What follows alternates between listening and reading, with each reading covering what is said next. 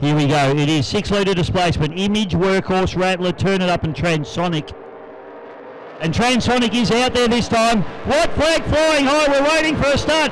Turn it up on the outside. We've got Lewis on the inside. The workhorse. Flag drops. You know what? Stops and we're racing.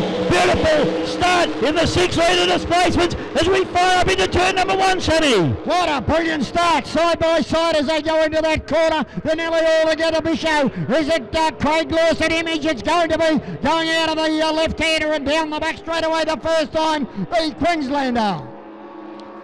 Back shoot now, and it is a hard charge. They'll try and pick up a race leader there. It is Craig Lewis in the image doing an absolutely awesome job. As they can throw a blanket over him now as they come down into the bridge end turn. Lewis has got the pace at the moment. Patterson having a look around the outside of the, the workhorse with Mickey Newton. And you can absolutely, not even a blanket, mate, it's a postage stamp at the moment over second, third, and fourth.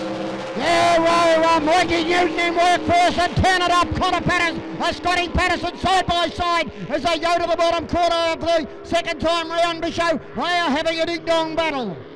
Lewis out in front all the way down from Queensland as he always does. Sammy's an absolute ripper. We got Patterson just up into uh, second place, but only by a bow eye at the moment. Then it's Newton back into third and rounding out the field at the moment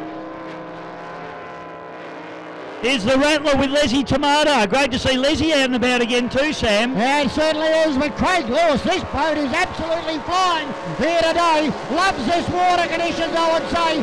And he's doing it well as he goes up to the bottom corner. Turn it up, Pato trying to go with him as they wheel up to the uh, leading boy. And then Mike Newton running a big race also in Workhorse Bisho. Yeah, Pato uh, did a good job to get around uh, Newton there in the workhorse, so doing a good job as they fire up through the top turn. But I tell you what, it is all Lewis at the moment in image. Rest of the field can only just try and hunt him down, mate.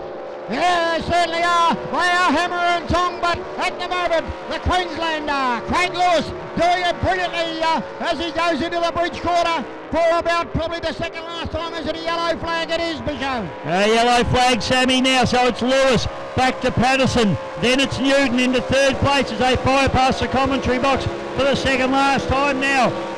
The workhorse looking good. I'll tell you what, Tomato looking a little bit threatening up the inside there as well.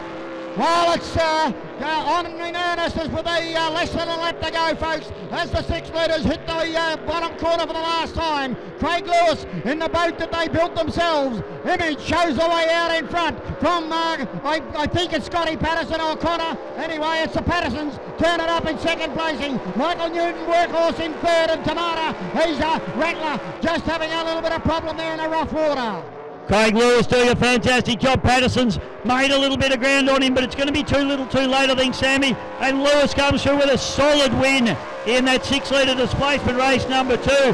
Back to Patterson now in the second place. Third place will be Mickey Newton in the workhorse.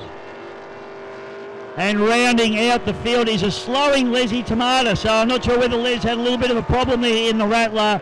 But uh, good to see he gets it home. He pops the hatch open. I think there's a little problem maybe in the Rattler 2 machine, unfortunately for him. But uh, as always, spectacular racing from our six leaders.